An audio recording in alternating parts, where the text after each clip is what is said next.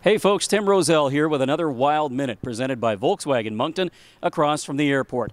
Tonight at Avenir Center, your Moncton Wildcats play host to the Saint John Sea Dogs.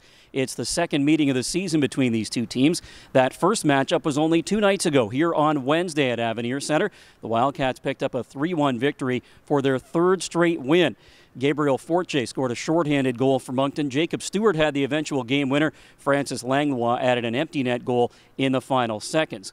The Wildcats also got two assists from Vinny LaBelle, their leading scorer. He's got nine assists in a three game point streak. Well, the Saint John Sea Dogs come into play with two wins and seven points so far this year. Uh, they got their only goal on Wednesday from Dawson Stairs on the power play. That was in the third period. They're a team that is built around those 2002 birth year players. They've got 11 of them on their current roster right now. But it's 17 year old Joshua Waugh who is their leading scorer with 10 points. He had an assist on Wednesday night. The Volkswagen Moncton keys to the game tonight for the Moncton Wildcats. It didn't hurt them on Wednesday, but you know they would want to get off to a better start.